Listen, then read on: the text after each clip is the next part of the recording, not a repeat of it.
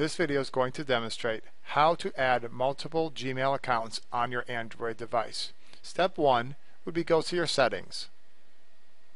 Next, click Add Account near the bottom of the screen. Now click the Google icon. Then click the button that says Existing.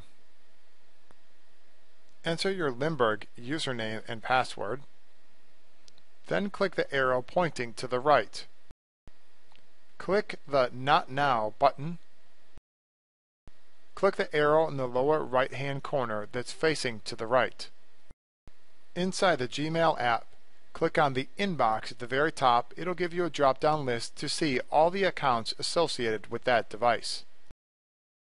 The first time you use this account, it will take a few minutes to sync all of your district contacts and groups will be synced to the, your device, so sending an email will be a snap.